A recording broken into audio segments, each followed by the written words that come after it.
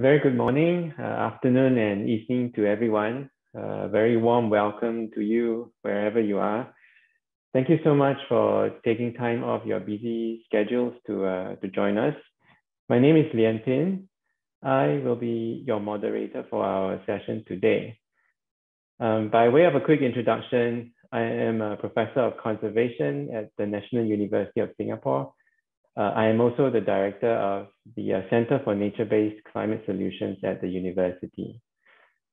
Uh, in the wake of a changing climate is a four-part panel discussion series jointly organized by the Head Foundation and our research center uh, in Singapore. Uh, this exciting new series uh, explores water, energy, and food nexus in the context of a warming climate. I should also quickly introduce our two organizations. The Head Foundation was established in 2013. Its goal is to help improve the lives of people in Asia by disseminating knowledge and sharing ideas, and by supporting and funding sustainable education and healthcare projects that develop social and human capital. The Center for Nature-Based Climate Solutions was established in 2020. The center is a focal point for research, thought leadership, and education on nature-based solutions for climate change mitigation and adaptation. It produces uh, policy relevant science and builds capacity in the public, private, and people sectors to help achieve a carbon neutral economy and stable global climate.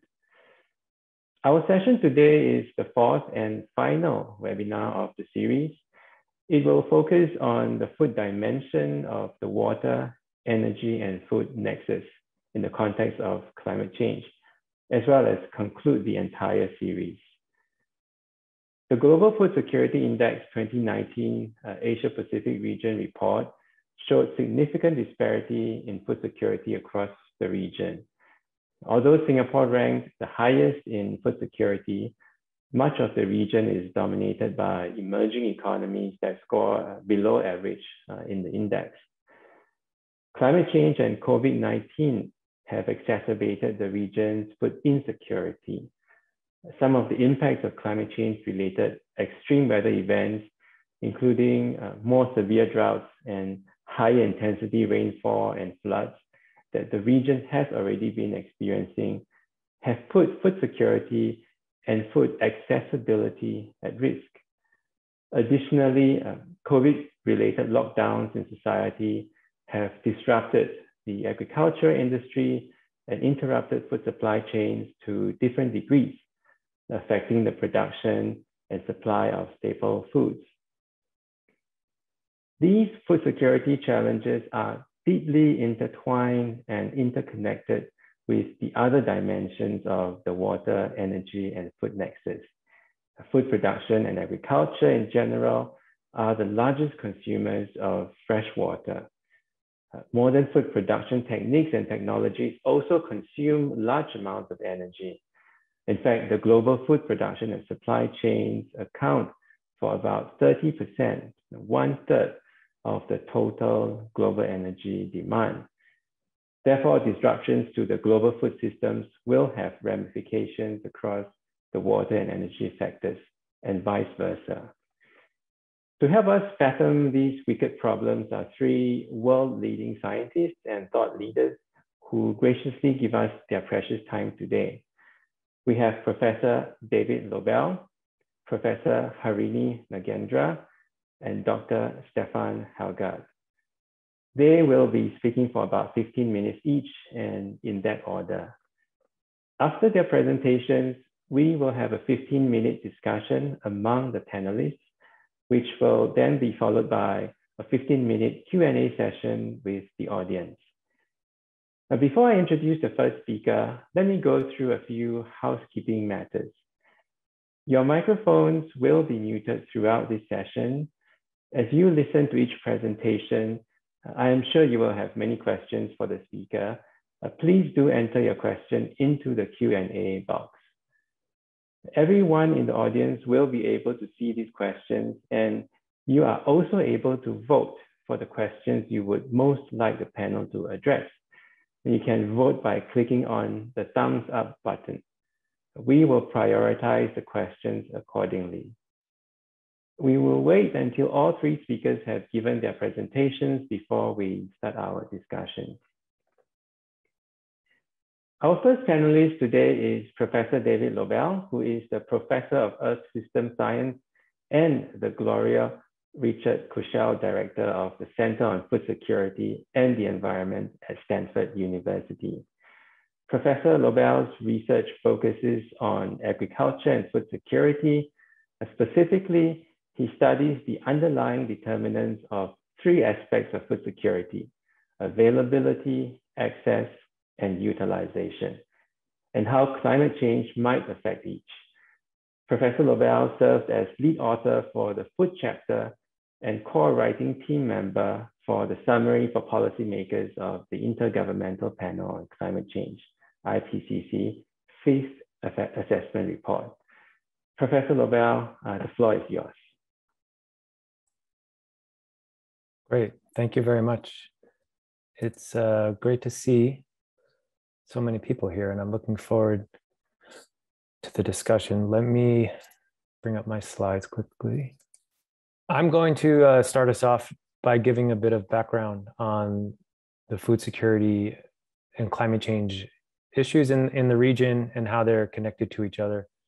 Um, and I'll start with something that Professor Koh mentioned, which is that the region itself has a lot of um, variation in food security we measure that in lots of different ways, but a very common way that we look at food security is to look at childhood stunting, which it refers to essentially when children are short for their age, shorter than you would expect just from natural variation. And this map shows you the latest estimates of stunting around the world. And while you can see real hotspots of, of high prevalence of stunting in South Asia and sub-Saharan Africa, which often get a lot of attention, you can also see that Southeast Asia is almost unique in its in its range of of conditions, uh, from very food secure countries like Singapore to fairly food insecure countries like Indonesia, where over 30% of children are unhealthy in, in terms of uh, height. So there has been a lot of progress made in the region, but still it's, it's a major issue, as I'm sure all of you are aware. You can look at other measures and, and in some ways they paint a very similar picture, but maybe even worse for um, Southeast Asia in the sense of wasting, for example, which refers to um, basically a weight for height measure, often showing um, as a sign of, of acute malnourishment. And this is less common than stunting throughout the world, but again, in Southeast Asia, it's among the most common conditions in the world, particularly um, in certain countries so this is the sort of backdrop where we have to think about all of these issues of, of trying to understand both how climate change is going to affect these issues and also what i'll spend some time is how, how these issues really directly relate to whether we can make progress on climate change or how quickly we can make that progress. So starting out with how climate change affects these issues of food security there's a lot of different ways that these effects happen. And, and Professor Koh mentioned the IPCC report, which Stefan was also involved with. And, and you know, in some ways, the IPCC lays out as many possible pathways as possible and looks at the evidence for each one. But I'm going to try to just keep it simple here and talk very simply about the pathway of climate change affecting agriculture, and in particularly the ability of agriculture to produce outputs that we value, whether it's crops or animal products, uh, and and how that uh, ability to produce those things then goes on to affect the, the food security of the population. There's been a lot of ways that, that this has been studied, um, a lot of different angles. I'm just going to show you one example. Um, again, this is just for to keep things simple, but also it I think is representative of a lot of what's been seen in pieces. And, and this is a recent study I was involved with that looked at, at the totality of what agriculture is producing. So not just rice or wheat, or not even just crop output, but all of the outputs from agriculture, including vegetables, including milk and, and meat products. And it looks at how our ability to produce that fluctuates over time and over space, and how those fluctuations are associated with climate. And from that analysis, you can begin to ask questions like how much has the climate change that we've already experienced affected the productivity of agriculture. And that's what's shown here is, is sort of the end result of that study, both in, in map form on the right and as a, as a regional breakdown on the left. And what you can see is that already in many regions of the world, including Southeast Asia, we already see trends that are, are suppressing the growth of agriculture. In, in many cases, agriculture continues to be more productive than it ever was because technologies are improving, management is improving, but we can look at what climate change itself is doing, and that's actually uh, can be thought of as a headwind for productivity.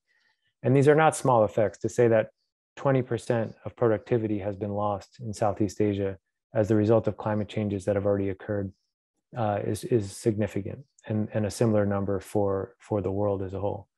And there's, again, a lot of reasons why this is happening, but the fundamental one is that crops, like humans, like animals, don't perform very well when the temperatures get very hot, especially when they're very hot and and often very dry in some places or very humid. It can cause a lot of problems for all of these biological organisms.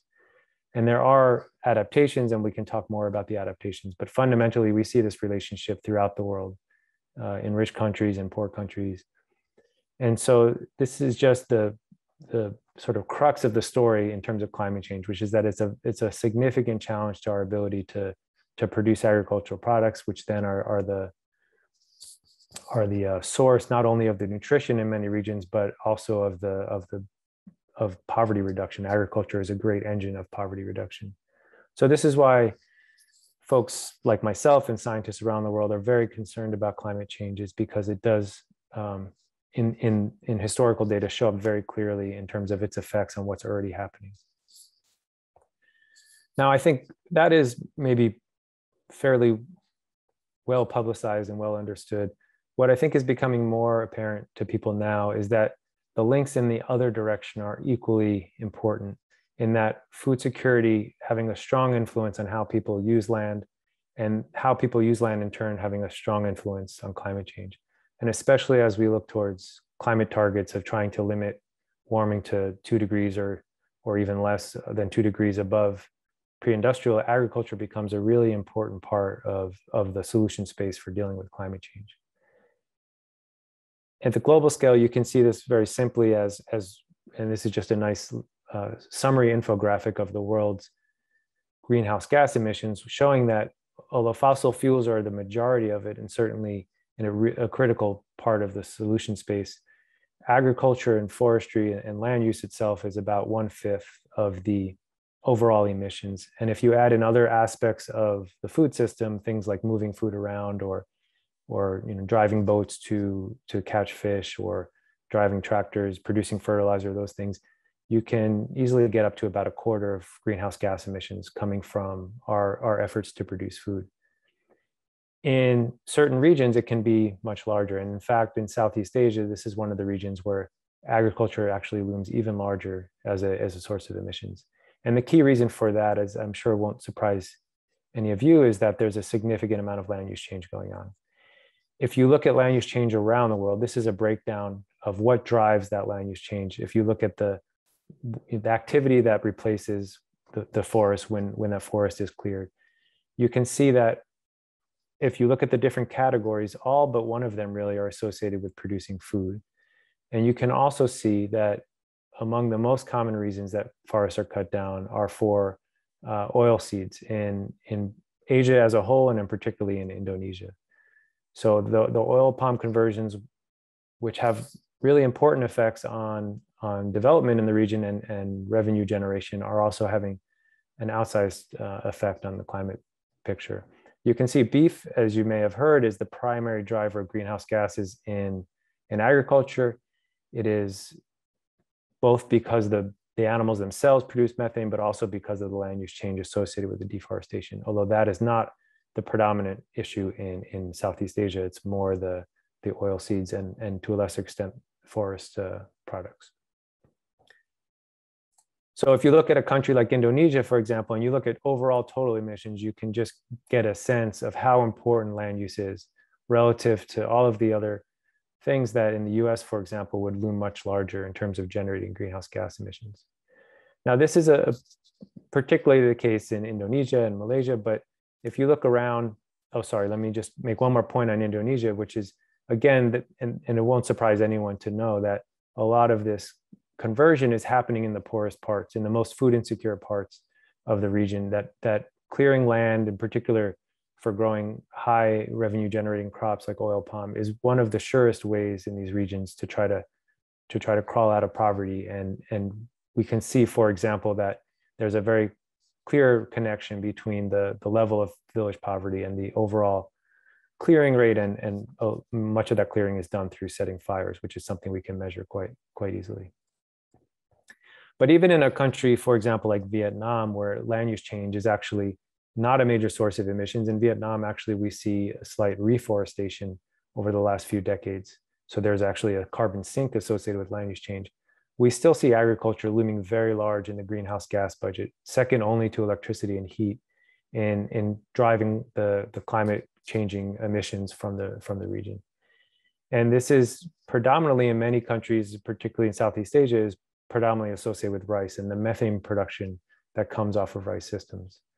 And so efforts to, to um, again, by many of the poorest to, to meet their needs is, is inadvertently causing these emissions.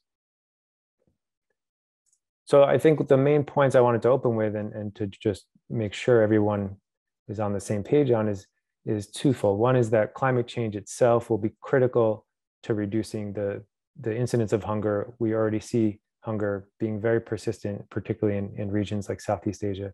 Climate change is only going to make that that harder, although many other trends are, are making the situation better. So it's not all all bad news.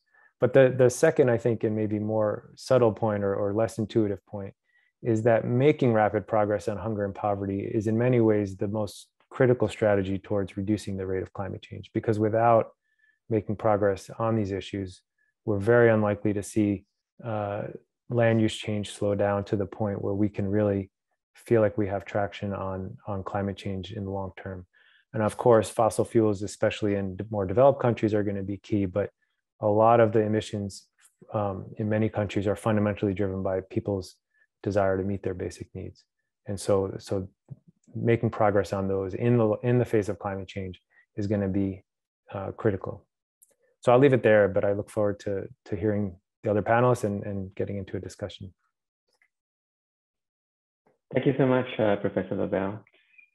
Our second panelist is Professor Harini Nagendra, who is the director of the Center for Climate Change and Sustainability at Azim Premji University in India. Over the past 25 years, Professor Nagendra has been an ecologist who uses remote sensing, or satellite remote sensing coupled with field studies of biodiversity, archival research, institute, institutional analysis, and community interviews to conduct research examining conservation in forests and cities of South Asia from the perspective of landscape ecology and social justice. Notably, her book, Nature in the City, uh, examines the transformation of human-nature interactions in Bangalore from the 6th century to the present, addressing the implications of such change for the urban sustainability of fast-growing cities in the global south. It's a pleasure to have you with us, Professor Nagendra.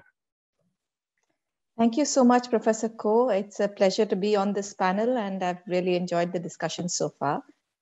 So I'm going to start and I will also end with this beautiful little sketch that an undergraduate student working with us, Rohit Rao, did of uh, a sustainable city from his perspective, which is also a city where food is available and where foraging is, is uh, possible in all parts of the city, from the sidewalks to the parks to the empty wild fringes of the city. Why cities? Because uh, we already are in a world by which is more than half urban. So more than 50% of the world's population already lives in cities.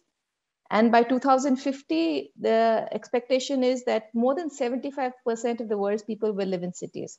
Of course in uh, countries like singapore this is already the case. It's a very urbanized country uh, but there are many rural countries for instance especially in africa in south asia which are very, very rapidly expanding.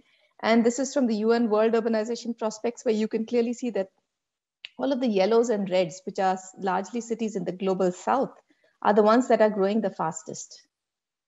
Okay, So how do we ensure food security in fast growing cities? That's the, the question. And this is, uh, I'm going to talk about this with reference to my own work in Bangalore, but then bring it to a more global kind of a stage.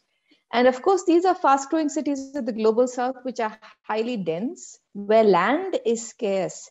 And so when you're talking about the water, food, energy nexus, how does one grow food in cities like this, where every square foot of land has a very high value? And if you can't grow food in the city, you then import the food from outside, which hugely adds to the energy footprint, the water footprint, and therefore the sustainability footprint. It is also true that if 75% of the world's population starts living in cities, who's going to be in the rural areas to produce the food?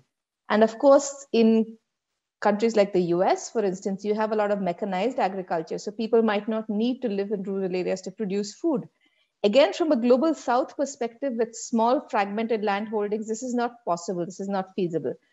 So we need to understand a way of getting food security where land within cities can be used as multifunctionally as possible to produce food for carbon sequestration, for water uh, conservation, and for other kinds of benefits. And this is really possible only with multifunctional use. So let me start with a broader background. Why are people moving to cities in such large numbers? This is some research we did recently looking at a number of uh, 5,000 households, rural households across central India. And central India has some of the most climate vulnerable forests in different parts of the world. And uh, then in these places, we were looking at how and why do people migrate? And we find that the amount of migration, as you can see on the left side graph, the number of people migrating from these 5,000, from these villages uh, has increased significantly over time. So there's a lot more migration now to Indian cities. Some of it is seasonal, some of it is annual, but we are looking at seasonal short-term migration, which is distress oriented. And this has increased with temperature variability. As you can see on the right side of the graph, the black dot is the increase in temperature compared to the you know, the average temperature for the previous several decades. And overall climate variability, heat stress, water stress has been increasing significantly. So what we find is the poorer households are beginning to migrate much more across India. India's internal migration is in fact among the highest in the world. 30% of the population migrates from rural areas to cities. And this is, as I said, often seasonal, but mostly for work. And the migrant and informal sector workers constitute 92% of India's workforce.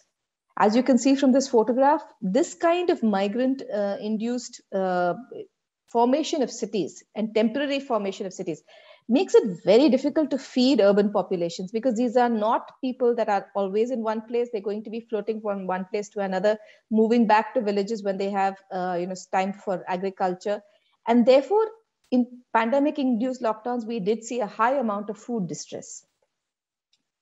Now, ecosystems in cities, we find support food security, especially if migrant workers like this in various ways. You might find it important for grazing, they do fishing, they use these areas for uh, drinking water, used for a wide variety of places.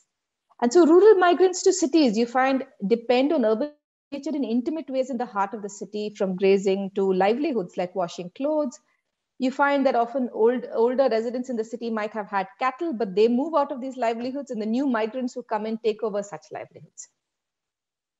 But we do see that this becomes a problem then in cities because, first of all, the environment in many cities, especially global south cities, is fast degrading. Like I said, the pressure on land is huge. And so trees are being cut down, uh, wetlands are being filled in there is new environmentalist movements which are stimulated by the awareness of climate change and water scarcity. This is a photograph from an environment protest against cutting trees. But these often lead to the kinds of environment restoration that are not food friendly. For instance, there's a lot of lake restoration in Bangalore driven by community movements. But many of these restored lakes do not allow these kinds of commons uses or local community uses. They don't allow the washing and watering of livestock. They don't allow grazing. They don't allow these um, kinds of uses like uh, dhobis who are commercial launderers. They don't allow women to forage for grains. And so you will also see signs put up in many of these restored parks that says plucking of flowers, damaging plants and trees are prohibited. And we were trying to therefore look at how, what are the patterns of urban foraging in a city like Bangalore? Bangalore is one of India's largest cities. It's uh, very well known across the world for its IT sector, so it's a globalized city. If you talk to a policymaker, a planner, a local Bangalore resident, they will not say that there is any foraging going on in Bangalore city. But we did a household survey of 202 responders, largely from middle income to low income families. And we found that 16% of the respondents foraged for food, 47% bought forage species of plants and 42% would like to forage more. And just these 202 res respondents, we found 76 different species that were foraged and bought across the city, right? So it's not just food security that this provides. This gives you local medicine, it gives you nutrition supplements, it gives you traditional knowledge. These may not be the kinds, they're not cereal grains. They're not going to reduce your calorific needs.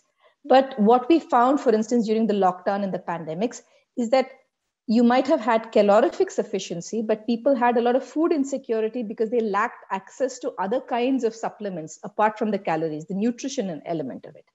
Right? So foraging is widespread in these places. But what do you do to scale this up? Remember, we said that 16% forage, but 42% would like to forage, and 47% actually buy forage species in the markets. How can you scale this kind of things up? So I'd like to give you two examples. One is uh, an artist called Suresh Samuha in Bangalore who has been working on reviving knowledge of wild greens. He lives in a peri-urban setting where he's working with village women. He's from a local village originally to restore lakes, to rewild these spaces, to do urban foraging. And he passes these on through a number of live sessions, sharing of wild greens, restoration of lakes.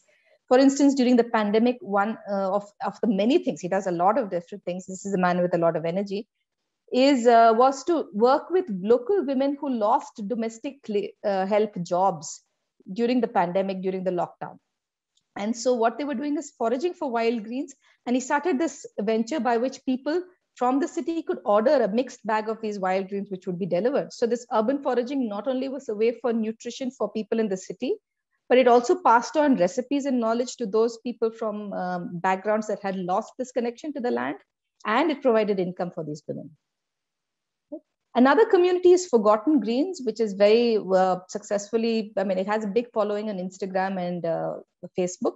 It has a rewilding food festival, which is held once a year. They have workshops, which they will train you online to go and look at the weeds around you and start picking up edible greens, which you can cook with. These are just two examples, and there are many of these examples. I'm sure you'll find them, for instance, across South and Southeast Asia.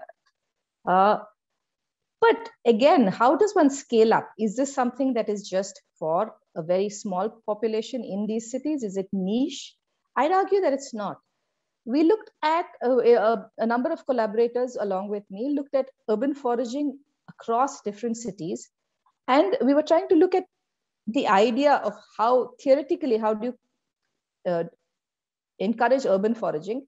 Conceptually, what are the kinds of ecosystem services they provide and in practice what does this mean for people? We found that it's not just india. For instance in bangalore i had said that only 16% actually forage.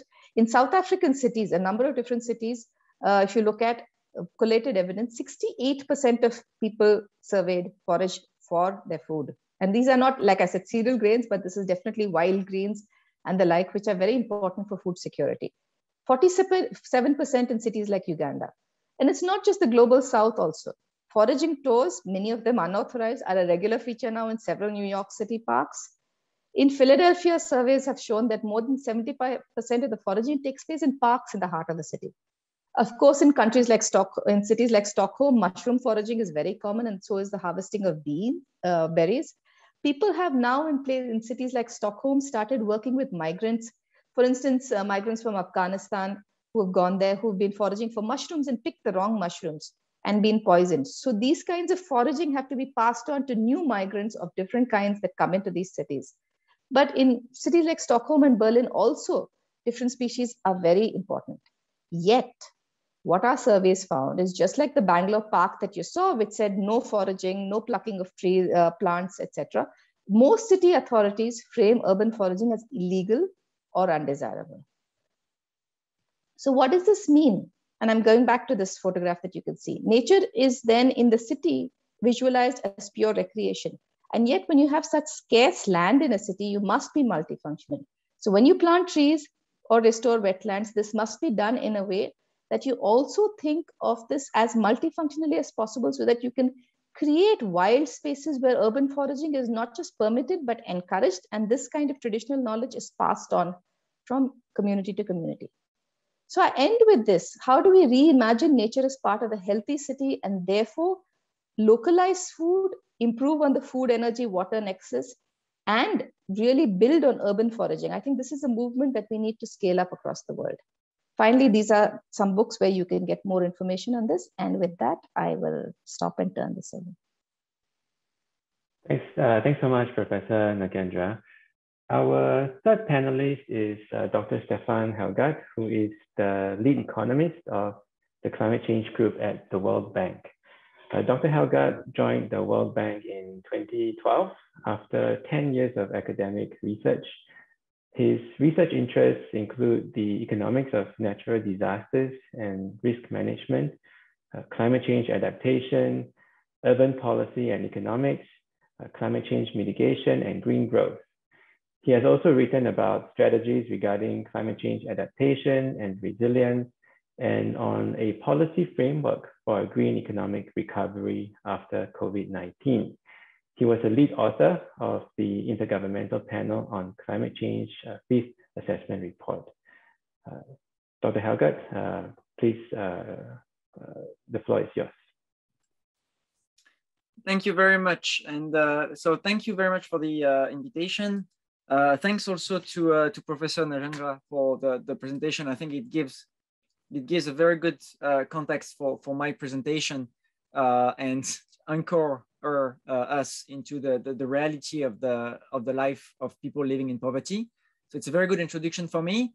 I will talk mostly about uh, about modeling, but I encourage you to keep in mind what she was talking about of about people trying to forage in, in, in cities um, it's uh, it's important to combine those uh, household surveys and information from the ground with with the modeling results like the one we uh, we we present. What I want to talk about uh, today is the, the link between these issues of climate change and food security and extreme poverty. And I want to start uh, again with household surveys and the fact that when we talk about uh, poverty and we imagine uh, this uh, trend where we have fewer and fewer people living in extreme poverty. And of course, Asia is really leading the way with hundreds of millions of people uh, exiting poverty in the last decades. Um, we should not forget that this process is not just a one-way process. There is a lot of back and forth with people exiting poverty only to fall back into poverty a few years later. Uh, and they, in many countries, you find 30, 40, 50% of the population which will be in poverty at one point in time. So poverty is really not like a group, static group of people, uh, but it's a very dynamic process. And when we do household surveys and we ask people about the reasons why they fell back in poverty after exiting, uh, they mention three things. They mention the role of food prices and the shocks to agriculture production. They mention natural disasters drought, floods, and storms. And they mention disease, uh, malaria, diarrhea, and, and so on. And of course, those three reasons interact with each other. Uh, you can have a drought and it creates a spike in food price, and then you have health issues. But the point is, when you ask people the reasons why they fall in poverty, they name those three factors. And when you look at models, you find that those three factors will increase in frequency and intensity in many places. So here, my first point is really that climate change will not create new shocks, but things we know are bringing people into poverty will become more frequent and more intense. So we have very good reason to think that climate change will play a, a very negative role uh, in, in our uh, objective of, of eradicating uh, extreme poverty. So can we try to imagine what it will do over the next decade. Um, how will climate change affect poverty in 2030? Uh, there is a lot of work on that. The point I want to make here is the impact of the same change in climate will be very different if you live in a slum in a city, like on the left and right of this picture, or if you live out of poverty in a very prosperous environment.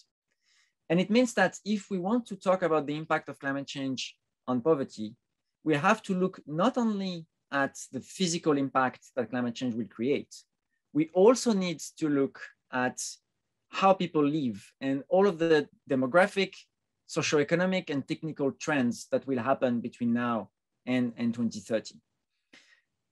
How do we do that? So the work that I present to you today is really starting with household surveys. So how does it work? We go in a country, let's say the Philippines, and we have a household survey which is interviewing, uh, so in the Philippines, it's 40,000 households. So we have 40,000 households described uh, with their income, but also their demographic composition, how many elderly, how many kids, who works in what sector.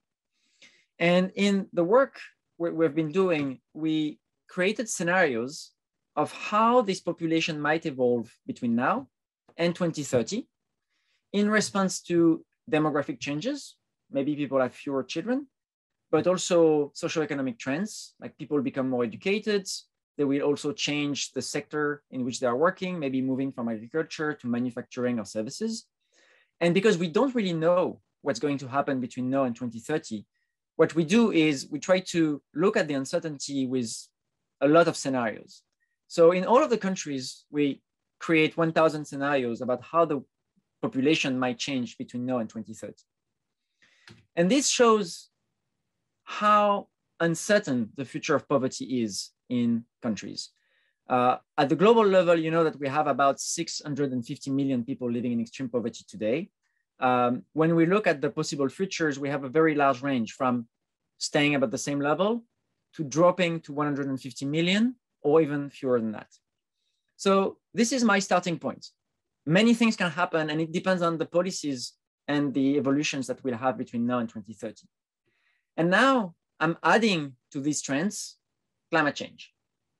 And I'm not adding everything because I can't, but I'm adding five different impacts of climate change. One is the effect of food prices. Uh, and if food prices increase, of course, it will reduce the uh, available income for households. And keep in mind that it's very unequally shared because uh, while rich people might spend 20% of their budget in food, very poor people will spend 60 or 80% of their income in food. So if, if the price of food increases, it impacts poor people much more than, than, than the others. There is a second channel, which is also related to agriculture, which is a reduction in yields, uh, which David talked about earlier, which will impact farmers' income because they will have less to sell. Uh, but at the same time, we have to keep in mind that if they have less to sell, but the prices are higher, these two effects might compensate each other. There is a third channel that I will be looking at is the fact, as David also mentioned, that if it's very hot, we become less productive. And so for everybody working outside, and that's agriculture, but it's also construction work, and it's also a lot of the work taking place uh, outside or in places without air conditioning. Um, productivity would decrease with, of course, an impact on, on wages, which is now very well documented. The fourth impact is through natural disasters, floods, cyclones, storm surges. Again, Asia comes to mind with a very high vulnerability to those, uh, to those um, events. And finally, there are impacts of climate change through health. Uh, of course, malaria and the fact that the, um, the, the, places affected by malaria might change, but also all of the disease linked to water uh, and especially diarrhea for, for children, as well as, as, as child stunting. And here, I want to be very clear that this is far from comprehensive. Uh, we look a little bit at what we have data for, right? So keep in mind that uh, this is a very partial analysis, but we take five well-documented ways climate change will affect people. And we put that not in aggregate, but we look at what it could do to all of our households that we have in our uh, data set of, of, from household surveys. And we do that on all of the scenarios we have. And what we're doing is we're looking at how the distribution of income and consumption change and what it does for poverty.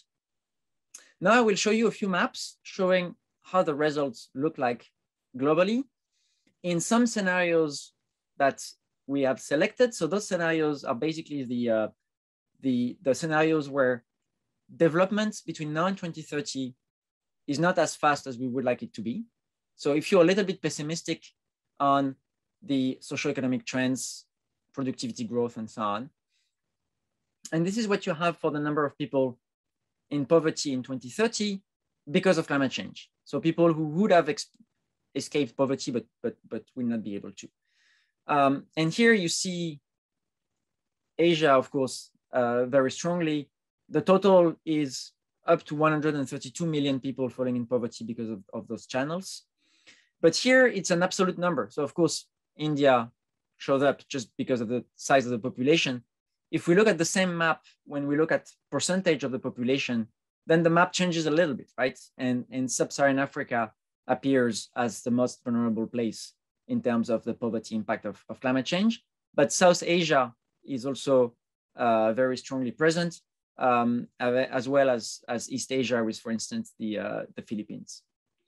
So what are the reasons? The main reason is the food price channel.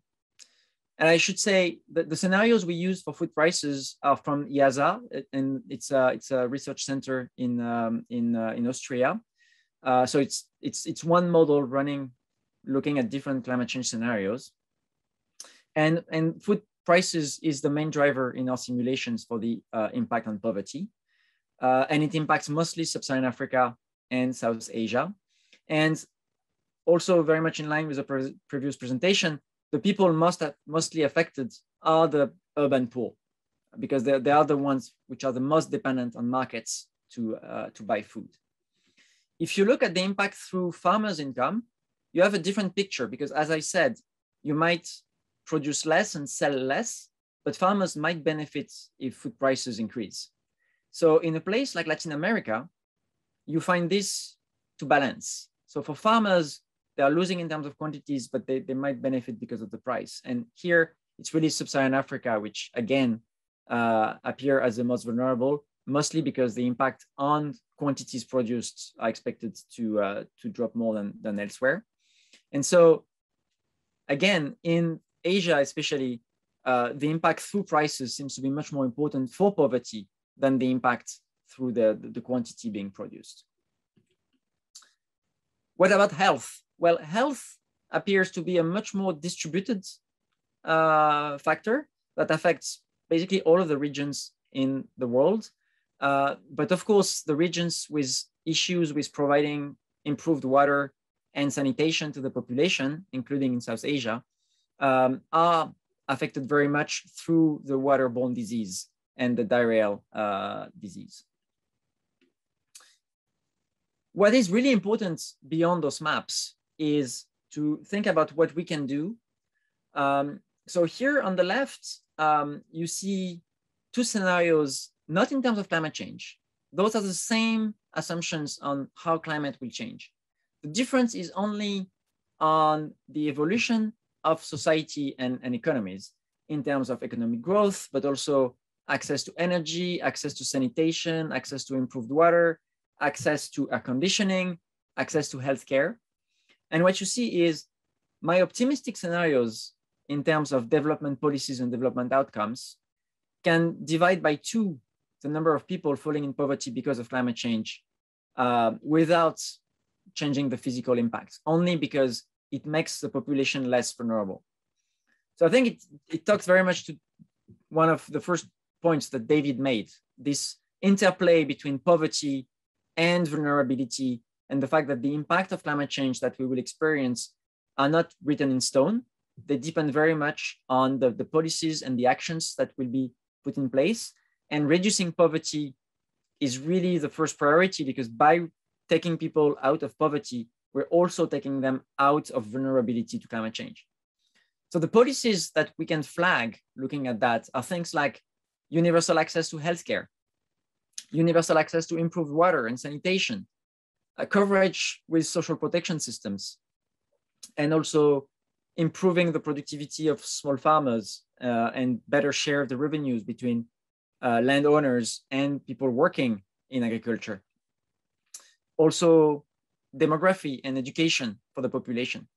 And what I want to flag here is the fact that those policies that I'm listing here would not be considered climate change adaptation.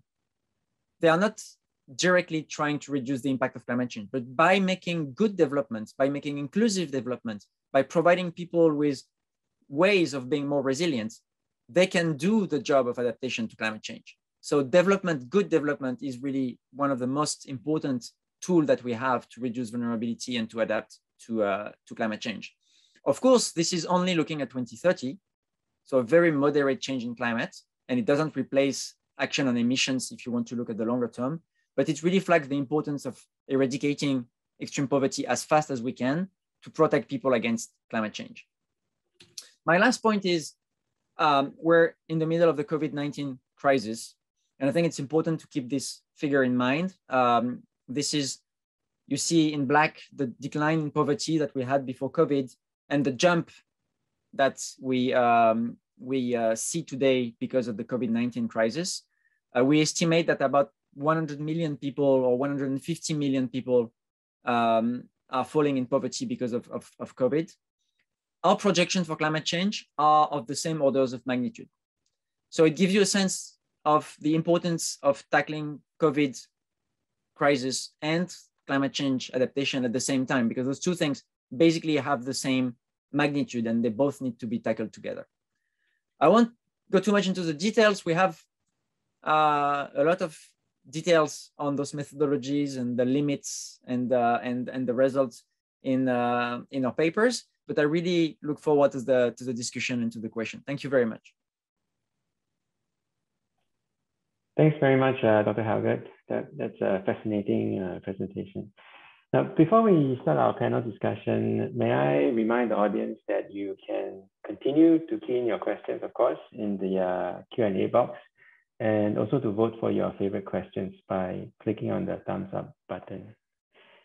Uh, so the next segment is a 15 minute uh, discussion among the, the panelists. Um, I do have a few questions, but uh, if, if any of the panelists have questions for, for one another, please please do uh, speak up. Uh, I think uh, we can keep this as informal as, as we, we, we want. Um, maybe maybe just to kick kickstart uh, the discussion, I, I have a question for uh, Professor Lobell. So, David, you talked about the impacts of climate change on agriculture productivity across space and time. Um, so, so based on your studies, um, do you have any insights to share about how uh, how the how different nations or countries may need to work together to ensure our collective food security in the face of uh, climate change impacts on agriculture? Yeah, that's a great question. I think a lot of people tend to think about agriculture as a very local uh, process. I mean, it is each individual farm has its own challenges. Each individual country has its own climate, its own uh, traditions, its own practices. And so, in, in many ways, people think of, of each country needing to focus on its own adaptations. And you'll often hear people say adaptation is local. Um, but the reality is, in agriculture, almost all of the technologies that are being developed and used by farmers are tracing back towards in, international cooperation and international um, investments, both in terms of seed development or in terms of just management practices. And you know, much of Southeast Asia, for example, are growing rice varieties that came out of the Philippines, and that that center in the Philippines is supported by the World Bank, by all sorts of other um, organizations. And so, you know, another good example is, and this is something that will be, I think, increasingly important with climate change is you not only need a good um, set of, of crops and, and practices by the farmers, but you need a good surveillance system, for example, to, to be able to un- identify when new diseases or new pests are breaking out. And countries need to invest in the common resources to be able to do that. They need to invest in the genetic resources to be able to develop new varieties, but they also need to be very open with each other in terms of when they see new things emerging. Uh, and they need to be, you know, open and sharing different genetic resources so that they all have access. So I think time and again, people underestimate how much historically this kind of global public good um, aspect of agriculture has been really critical. And it relates also to something Stefan said, which is that I think many people underappreciate how important low food prices are for poverty.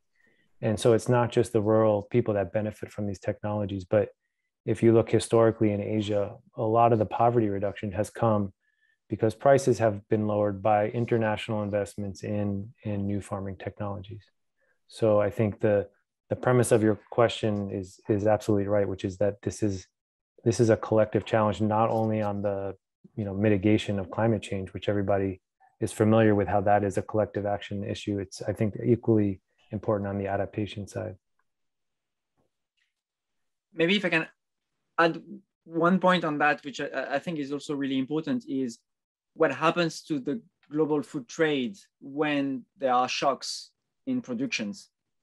And very often we see a very uh, natural response, which are export bans or countries starting to uh, stock food with the expectation that prices will increase over time. And those things can create the crisis to start with. Even if the shock to supply would have been manageable, if you start to see export bans and, and people storing food, you, you can get your increase in food prices, even though you might not have needed it. And it's really difficult. You need a lot of coordination and a lot of trust of all of the players to decide not to play those, those tactics, which are really centered on the domestic agenda uh, to minimize the impact at the global level, and especially for the poorest and the most vulnerable, or in places that are mostly importing food. So how do we create that, that trust and we avoid those bad reactions that are making everything worse is also a very important domain for international cooperation. And I'd like to add, uh, I think these are important points. And the additional thing is with climate change and the impacts on water security, we are seeing a lot of countries that are water poor buying up large tracts of land in poorer countries in the global south. For instance, many grazing lands in Africa that are being bought up by countries that are um, that think they're going to be running out of water soon in the next 20 years. So those kinds of issues also at an international scale, when you think of teleconnections and land swapping and land grabs, will also play out importantly when we talk about food security. It's no longer a local issue, but what food is being shipped where and what energy and water footprint does it come from, come with associated with it. And what does that mean to countries that are food secure but can't use their food because it's been bought up, you know, a lot of that land has been bought by other countries. That, that's a that's a great point, Harini. Uh, and talk, talking about shocks, uh, uh, uh Stefan, uh, I think one, one of the shocks we are still experiencing is, is of course COVID-19 right? It, it may not have uh, affected, well, it has affected food production, but I think more importantly, it has, it has, it has affected the supply chain, right? Uh, and, and that's uh, being, being very acutely felt in, in countries like Singapore uh, that depend on uh, food imports for, for much of our, of, of our food consumption or food supply. Um, and uh, so, so it's it's uh, it's an interest, another interesting dimension uh, in, in the sense that in this case, in this kind of shocks, uh, uh, country have countries have to also deal with uh, different ways of of of ensuring that the, the, the, the, food supply chain continues to function and the food gets to the the people who need them the most. Um, I have uh, another question, uh, and this is this is uh, really for Professor uh, Nagendra Harini. Um, so you you talked a little bit about um, rural-urban migrations. So actually, you talked uh, you focus quite a bit on rural-urban migrations, and that's that's very interesting. Um, you you talk quite a bit on the uh, food and nutritional security of the migrants after they've moved to the cities. Um, I wonder if you could also speak to the impacts of these migrations on food security for the wider society or wider community, given that I assume um, these migrations must have resulted in the uh, abandonment of, of farmlands in the rural areas and, and resulting in compromises to agricultural productivity. Um, so do you have uh, any insights to share on how these migrations are also affecting the wider society?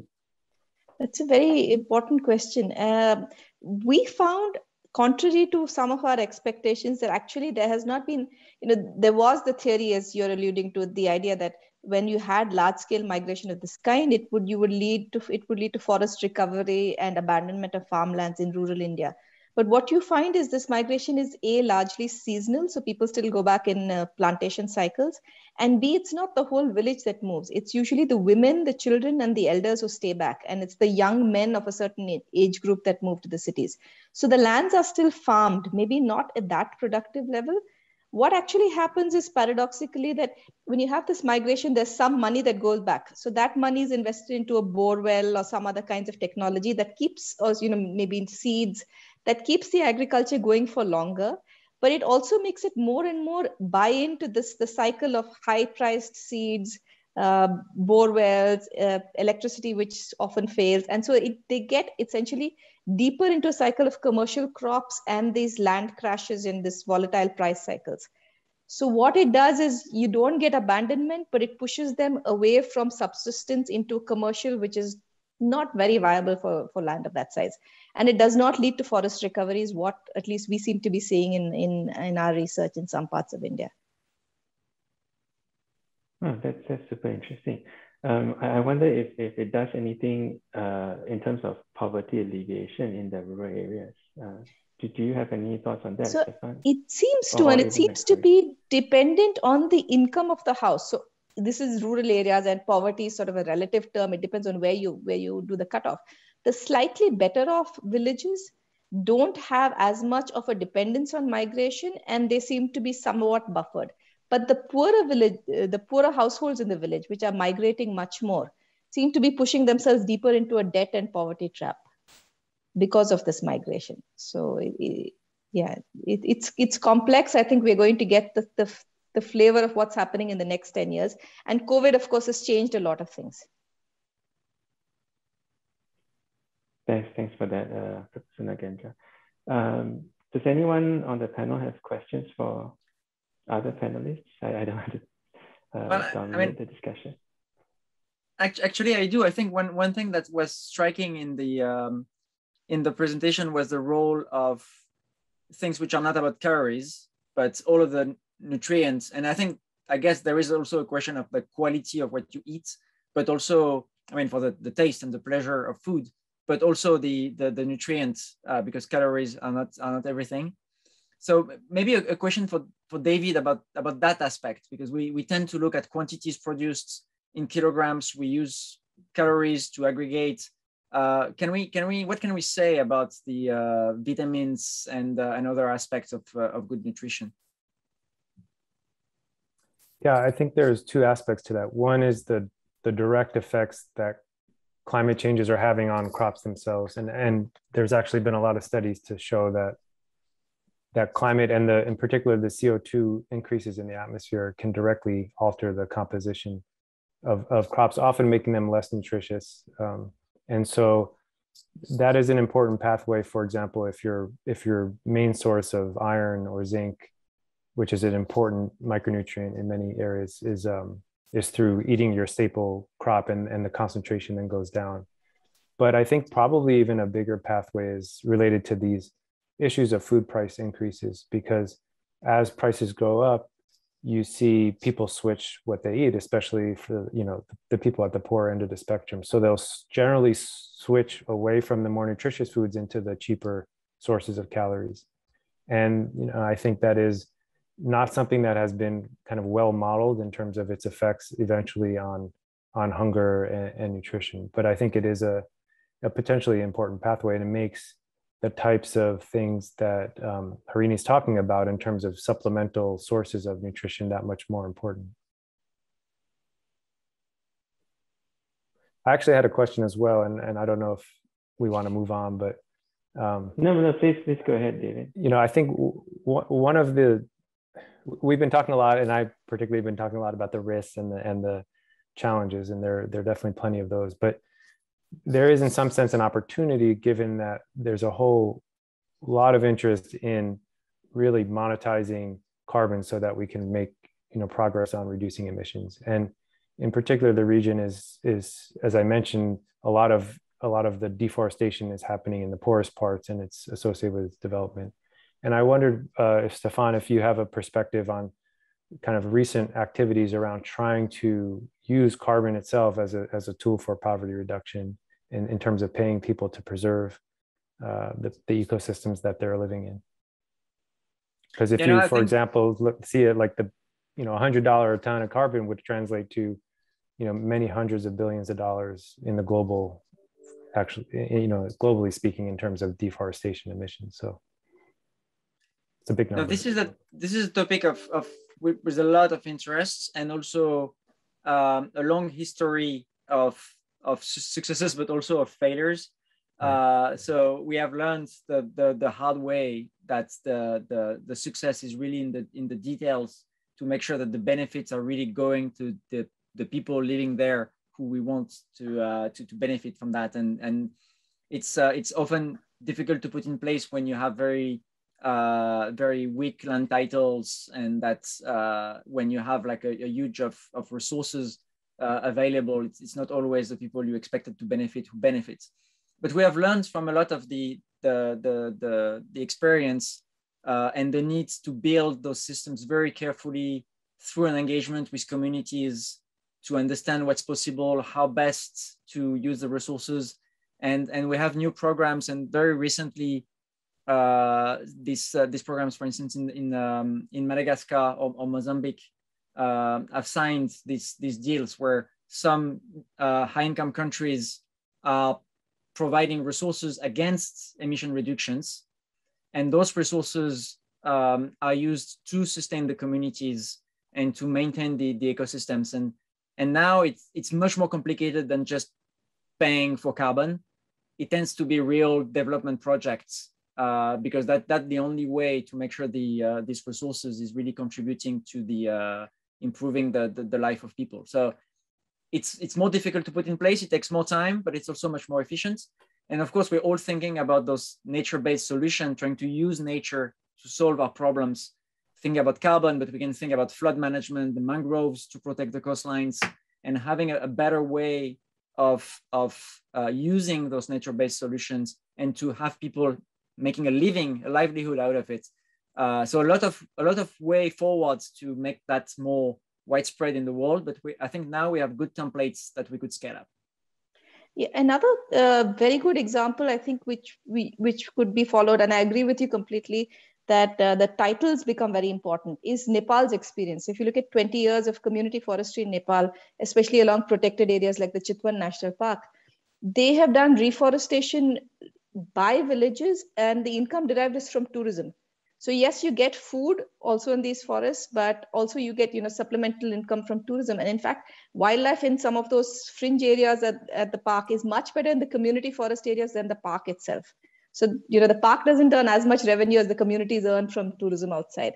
And it's also education because these youth are trained in biodiversity and can actually take people around. So it's it and as you say the money has been put back into development projects. So these villages which i visited you know over 20 year periods much better schools much better libraries much better roads and all the other facilities and also much more food secure. So i think again covid has disrupted some of these but these are places that one could really learn from in, try, in terms of trying to take paradigms from one place elsewhere. Yeah it's a good example it, it, it, won't, it will never be only about carbon.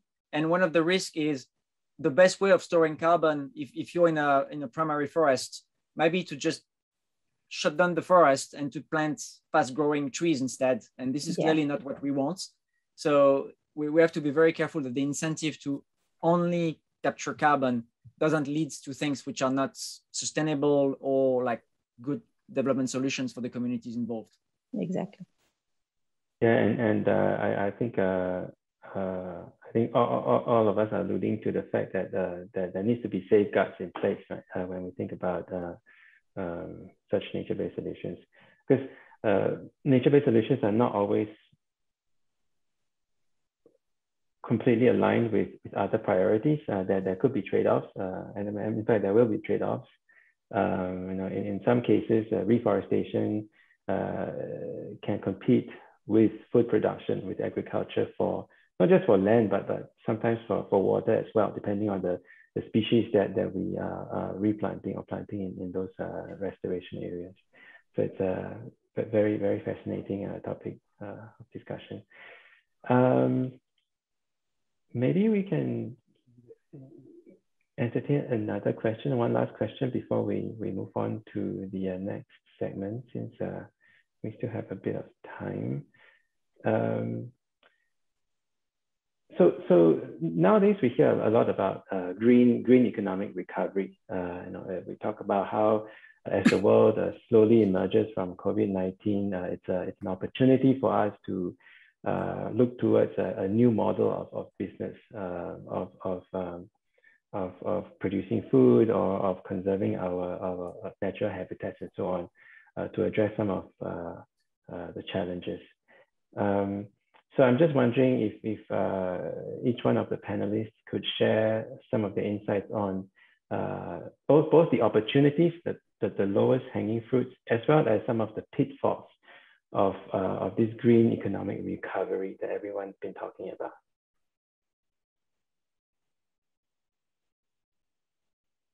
Who goes first?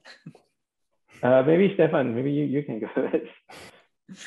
Uh, yeah, no, so we, we have worked quite a lot on that at the beginning of the of the pandemic when uh, governments were replacing uh, lost income with public spending.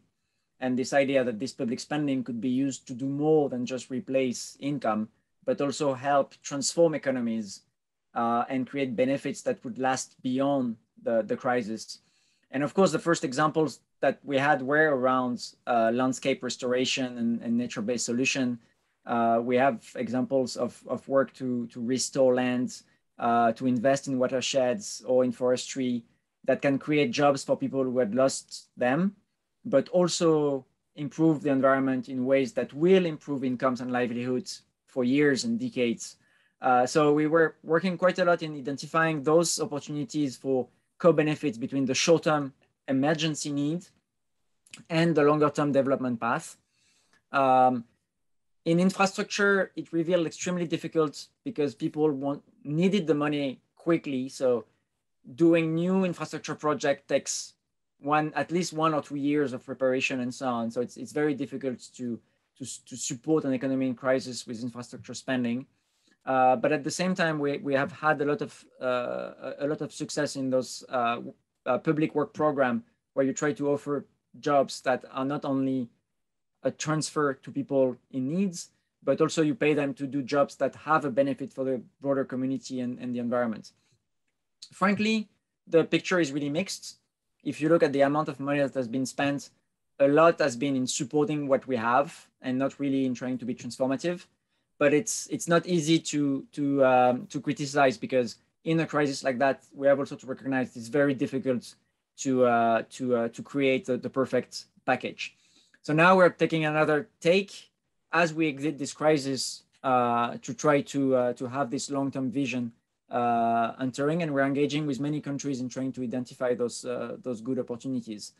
Um, I was just to conclude always careful in talking about the opportunity because in, in, in such a, a dire situation, I think it's difficult to tell people that this is an opportunity. Uh, but it's clearly never a good idea to look only at the short term without trying to look at what it does over the, the long term, because that can be uh, a missed opportunity that people will regret in the future. So we're really trying for this long-term view in, in everything we're doing, including crisis management. Thanks, thanks for that, Stefan. Um, Harini, do you have anything to share? Yes. Uh, so, a long-standing, very successful program of the Indian government is the National Urban, uh, National Rural Employment Guarantee Scheme. It gives you 100 days of wage labor, and that's been used very successfully. For instance, in the state where I am, Karnataka, to restore water bodies across the state, in and especially during COVID times. So this 100 days has been increased to 140 days. And uh, with that restoration of water bodies, you're getting climate security, you're getting wetland restoration, you're improving agriculture, reversing urban, you know, rural to urban migration. There's so much potential for that. One of the things we have been working on, for instance, is village forests, which are mixed food forests, food, fodder, and shade. And uh, you know, based on our research and other people's research, some of this fund is going to go into restoring a lot of these village forests across the state. So it's not just water bodies now, but these food forests, which with jackfruit and tamarind and those kinds of you know food trees can come back in. So I think if you can get these kinds of ideas to scale up across the country, Another thing we're working on with economist colleagues, and some states seem to be interested in this, to have an analogous uh, scheme for urban employment guarantee. So if you did this in cities or small towns across India or across the global south, let's say, and these are places where you still have these places of nature, you know, uh, still there, you know, wetlands have not disappeared, etc. And you do restoration, careful ecological restoration, and as uh, Stefan was saying, multifunctional restoration. You know, it's ecological goals, biodiversity, not just climate, but also that in those kinds of situations i think you would get a lot of you know the green economy jobs because you get these migrants what are you going to make them do? Instead of constructing apartments that nobody lives in for investment you can actually reconstruct a lot of these ecosystems. So those kinds of schemes i think if they can be taken up given the success of the rural employment guarantee scheme. We need something similar for the, like this in, in in smaller places smaller towns etc thanks thanks harry david any yeah, just just briefly because I, I, see a long list of uh, questions, but you know, from a food security perspective, I think there have been lessons learned for sure in terms of safe, safety net provision and how to do that well, how not to do it well in some cases. But I think also just an appreciation for how relatively inexpensive it is to improve some of these social safety nets for the type of benefits they provide. And I can say that in the U.S., we've certainly seen that. You know, with, for example, universal school lunch um, is something that came in during the pandemic and seems like it's here at least in California for for good now. Um, and then the other thing I think that has been a positive lesson learned is is there's a lot of food security implications of of air pollution, and I think you know in the midst of the shutdowns in various places, I think we've gotten a lot of evidence about just how important air pollution is not only directly for human health but for agriculture itself and so that i think those lessons will continue to to be developed but i think in the end it'll it'll actually spur more understanding of the co-benefits of these of these developments. Thanks thanks for and, stefan you have something to say? Yeah and um, maybe one one thing which we're also trying to, to to build upon now is this concept of one health which is bringing health for the livestock and the humans together. Uh, we know that a lot of new diseases are coming from from uh, the contact with with animals, and also that uh, this disease are also affecting food production. So with the discussion on the pandemics and health in the headline for months now, uh, the idea that we could have a much more holistic vision of, of health for human beings, but also the environment and also the, the livestock and the, and the connection with, with food security, I think is also an idea to on which we can build as well as to uh, get back to this question of nutrition, the fact that there is food insecurity in the world, but there are also uh, epidemics of obesity and non-communicable disease that also needs to be treated. And, and you see all of the synergies here. Overconsumption of beef, for instance, which is creating emissions, making people sick and more vulnerable to any disease that would be around. Uh, if we could capture those, those, those co-benefits and, and build on the momentum those questions have at the moment, I think the, the potential for, for benefits in terms of quality of life would be very, very large. Thanks, thanks, Stefan. I think we better move on to the audience Q&A segment. Uh, the, the, audience is uh, patiently waiting for us to answer their questions.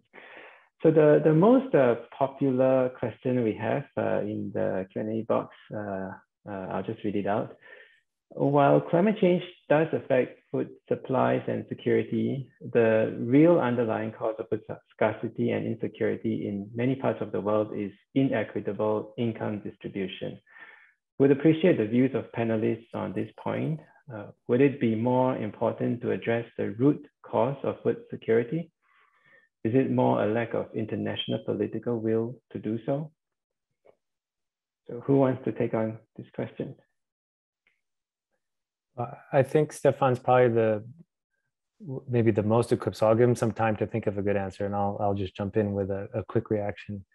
Um, because this is a this is a good question, a common question, and I you know I think it is the case that um, throughout history we've had income inequality we've had you know systems designed at times to really reduce income inequality sometimes those worked out not so well in terms of overall you know agricultural production and food security but at other times we've had such drastic inequalities that that has also not worked out well i think the the point that maybe needs emphasizing for for some people is that the, the ways you get to income equality or, or less income inequality, I, I, in my experience at least, really depends on the economy you're talking about. And in many really poor parts of the world, uh, one of the reasons that people like me focus so much on agricultural productivity is because that is the source of incomes for the poorest people. And so even if you weren't worried about that providing food or, or lowering food prices, it's a critically important source of, of reducing income inequality. Obviously, in the United States, or probably in, in Singapore for sure, it's not it's not the case. It's more about uh, tax policies and other things. But in many of the of the food insecure parts of the world, many of much of sub-Saharan Africa, for example, agricultural productivity is the surest way that we know how to to generate you know poverty reduction. And so it is. Um, it, it is absolutely important to deal with income inequality, but the ways you do that are, are sometimes um, different depending on where you are. Yeah, no, I think I would, I would, I would, I would say, I would say the same thing. Um, my presentation was all about the needs for this inclusive development and reduction of poverty to reduce this root cause, this vulnerability that then makes the environmental impact so damaging for, for people prospect and, and quality of life. Um, and I, I, agree with, with David that in, even in countries where agriculture is a small and declining share of GDP, uh, it's very often a major source of employment and a major source of income for, for very poor people. So uh, the, the, agricultural sector is really at the at the center of, of, of this question between between the consumer and access to food and the price of food, but also the income and having the right price so that you get people to make a living out of agriculture. And at the same time especially poor consumers can can can access uh, the food they need and the, with the, the, quality they need. Uh, is really important. I think bringing equity equality equality is really important also if we think at the about the impact of growing incomes on diets and food consumption because one thing that that's also happening is a convergence of diets toward diets very heavy on on on uh, animal proteins which have very big uh, impacts on the on the environment. So uh, this is a, a, very complex issue. I think we all agree that going after the root cause of, of this vulnerability is really important. And at the same time, it won't replace acting on the root cause of climate change because right now, poor people are the most affected because climate change is just beginning. Uh, but only reducing the vulnerability will not replace actions to stabilize climate change and prevent this uh, this uh, this change in climate to just continue increasing more and more until not only very poor people are affected, but everybody is, and and and this is going really fast. So very short answer, it's all of the above, and we have to look at the vulnerability and the root cause, but we also have to look at what's happening in the in the price of food and the production of food. Thanks, thanks, Stefan. Uh, maybe we can move on to the second question. I think this is probably directed at uh, Harini. Uh, if cities were to promote food foraging, urban foraging, what are some policies that can be enacted to ensure the sustainability of the foraging system? Uh, example, ensuring that food plants are not harvested to decimation.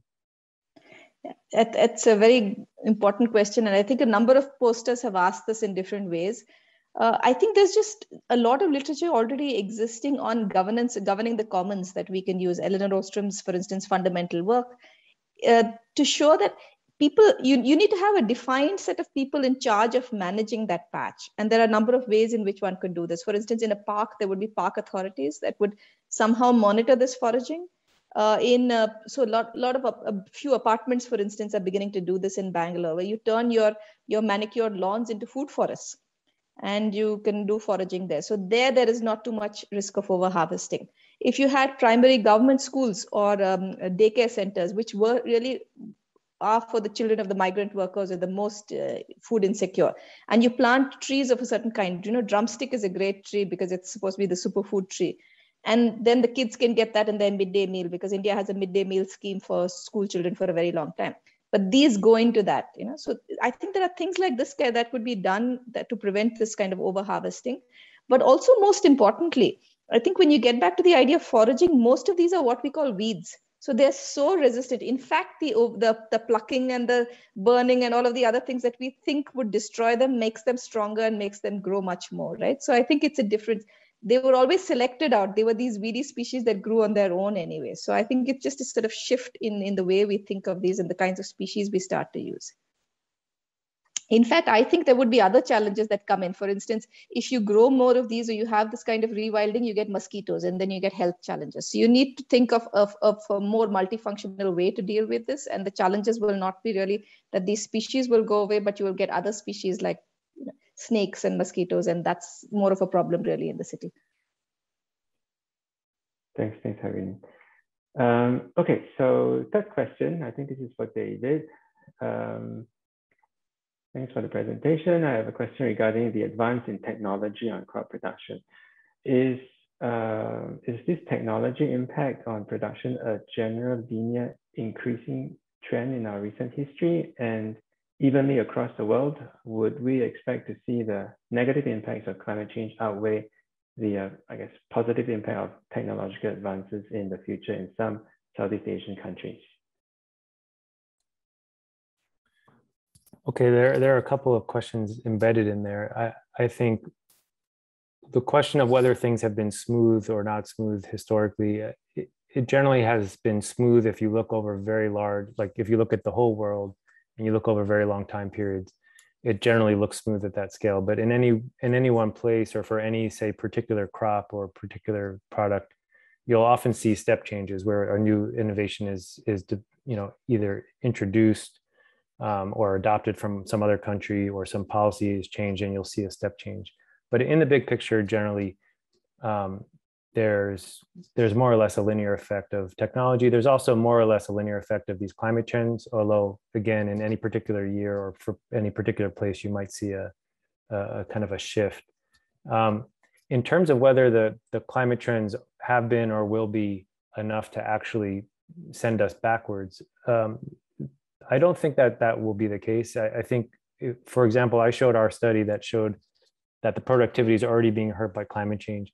So that was about a 50 year period where we looked and saw um, something like a 20% reduction. But over that period, that 20% reduction um, was equivalent to about seven years of technology growth. So it was still only on the order of maybe 10 or 15% of the effect of the overall technology improvement. So looking forward, I think you know we still have a lot of technologies on the horizon a lot of things we know could improve productivity of agriculture and then things we don't know yet but we expect you know as investments are made.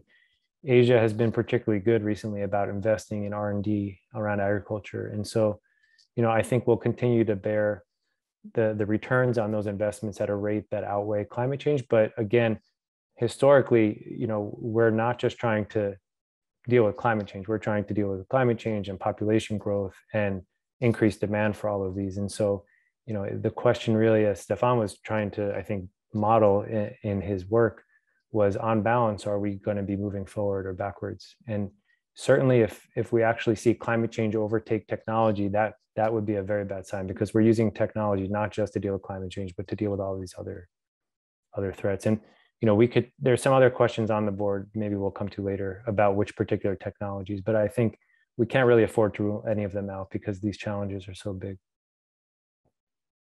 Thanks, thanks, David. Yeah, there are lots of excellent questions. I think we are running out of time. Maybe we'll just take uh, uh, one or two more. Um, the, the next question, if I may paraphrase it, uh, is about what, what strategies uh, will be most effective to ensure food security in the face of you know extreme weather events like uh, flooding and typhoon in, in the Philippines. Yeah, so I mean this is this is a very important uh, dimension that I, I, I don't think we have discussed or, or briefly the fact that it's not enough to produce the food. you have to to move the food where it's consumed. And uh, today, especially in, in, in, in lower and middle income countries, there is a lot of waste in that transport. A lot of the food is wasted because we, we can't transport it uh, into living uh, into the, the house of the people consuming it. And of course, disasters are creating uh, an additional shock on that. And, and we have evidence in the Philippines where some of the, the, the, the stocks have been washed out by typhoons, but also where roads were cut off, uh, disturbing the, the transportation of, of food. Something in Latin America where we have cases where the food production hasn't been affected at all. It's only the transportation into the cities that is affected and, and leads to increase in food prices in cities and, and, uh, and uh, hunger and, uh, and food insecurity the response to that is, is really better infrastructure, more resilient infrastructure, uh, redundancy in our transport systems that you need not to rely on just one road and one bridge to, to, to bring the food. Um, and also emergency management, uh, because bad things will always happen and we have to be prepared for those and have alternative ways of transporting uh, food when it's, uh, when it's needed. I want to add that the cases where it goes really bad tends to be cases where you have many things at once, and especially in places with, with conflict and violence, where you have conflict and violence disrupting the, the, the, the food transport and food markets. And if you add like a, a drought, or if you had uh, if you add like a, a hurricane on that, then you get the very very big impact because you have all of these reasons why the system is not is not working. So it's all about preparing, investing in redundancy and resilience, and having a very well emergency system that can cope with the situation in real time because we're always surprised by what's happening. Thanks, thanks, Stefan. Um, I think I think we'll skip the next question on urban foraging and move to the uh, following one. Um, okay, how are we to simultaneously tackle food security and arrest deforestation globally in an equitable and effective way. Maybe David, since you talked about climate, food security, and deforestation. Yeah, I mean, this question is really the crux of what a lot of us are trying to uh, to work, you know, devote our careers to. I think in many cases, you, you just have to look very specifically at who are the people who are, you know, relying on deforestation as a means of of getting out of poverty, and what are the alternatives available to them. And it may it may well still be, say, growing uh, oil palm, but it may be you can focus on intensifying within the existing oil palm plantations and maybe providing payments for avoiding uh, communities that are setting fire to to forests to clear more land. So I, you know that that would be a case, for example, in Indonesia, but you would maybe go somewhere else and understand in a very different way um, what what are the what are the alternatives to deforestation as a pathway out of poverty um, and then in terms of more broadly, the food security and deforestation, I think at the global scale, we just have to understand that high food prices are going to be an impediment both to food security and to and to preserving land. As as long as food prices are high, there's going to be incentives to clear land, and there's going to be a, a, it's going to be very difficult for people at the low end of the distribution to to afford food. So everything we can do to keep prices from rising high while preserving you know incomes for farmers is is really important. And i think that comes down to just you know in real simple terms getting better at growing food understanding you know more the genetic uh, opportunities with gene editing understanding more about how to um, say use new fermentation technologies or you know some of the alternative proteins. All of these kind of ideas need to be on the table to help i think provide that sustenance without the, the big incentives to clear land. Also, if I can add, uh, I think a big part of this is what kinds of tenure rights people have over their land. So whenever you have com- uh, common property rights over forests, it despite land prices, despite insecurity, despite you know all kinds of other violence, you do find that uh, forest cover gets protected much more. And I think this is now robust across the world. So it's also a question really of how do we protect these? And unfortunately, forest land still tends to vest with the state rather than with communities in most parts of the world. So that's also something we need to fix. And that's, I, I think, also, what you were saying, David, that all of this is so interconnected. You can't fix one piece without fix, fixing the others. Yeah, but that is a really critical point, I think, is that that when you get down to it, the details uh, of who owns the land and who's making the decision is is so variable from place to place and so important. Yeah, and just to, to add on this interconnectedness, one, one thing that's really striking is how every solution you can propose in each sector will not work if you don't have the full package. So if you do only intensification of agriculture, you create more incentive to deforest because agriculture is making more money. If you're doing only uh, banning deforestation without progress on agriculture, you will increase food prices and increase poverty and reduce opportunities for income for people. So you really have to work to work on those two legs that you have to just get better at producing food, protect the, uh, the, the, the forest and natural areas. And for all of that to sum up, I think you need diets to be, let's say, not too crazy, right? I mean, uh, it's, it's not like things are prohibited and so on, but, uh, but the, the more we have diets that are consuming lands because they are based on, on animal proteins, the, the, the more issues you have. So they, they, I think if you have two scenarios, one with diets which are lighter on animal protein and, and, and, and more environmentally friendly, you can make a huge difference and make this balancing act between agriculture and protection of uh, natural areas much, much easier to achieve, which means that everybody has a role to play and we need all of the pieces of this puzzle to just work well together to, to, to achieve that goal, which is, I think, as David was saying, this is really the, the key, right? The climate, biodiversity, natural areas, and food security and, and, and good lives for everybody. Thanks, thanks, Stefan. Um, I know we have run out of time, but uh, I have permission from the organizers to uh, to uh, to just uh, add on another five, maybe five minutes.